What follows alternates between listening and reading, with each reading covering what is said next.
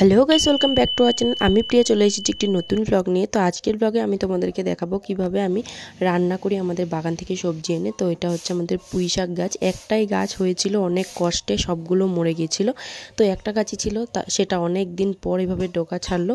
তো সেখান থেকে আমি গিয়ে দুটো ডোকা কেটে নিয়ে এসেছিলাম, কারণ পুঁই শাক খেতে আমি ভীষণ ভালোবাসি। তো তোমাদের মধ্যে কে কে ভালোবাসে পুঁই শাক খেতে অবশ্যই কমেন্টে জানিও, আর কে কে ভালোবাসো না সেটাও কমেন্টে জানিও। আর নেক্সট ভিডিও তোমরা কী বিষয়ে দেখতে চাও সেটাও জানিও। তো পুঁই শাকের জন্য আমি প্রথমে পেঁয়াজ কুচি করে নিয়েছিলাম, তো ফোড়নে আমি পেঁয়াজ কুচি দিয়ে দিয়েছিলাম, তারপর একটা দুটো লঙ্কা ছিঁড়ে দিয়ে দিয়েছিলাম, আর দিয়েছিলাম সামান্য হলুদ আর লবণ। আর কিছু তেমন কিছু বেশ কিছু লাগেনি, তো এইভাবে আমি বানিয়ে নিয়েছিলাম পুঁই শাক চাল কুমড়ো ভাজা আর তিতাকল্লার ভাজা। তারপর আমি একটু মুসুর ডাল বানিয়েছিলাম, মূলা দিয়ে, যেটা আমার খুব ফেভারেট তো আজকের জন্য এইটুকুই, টাটা!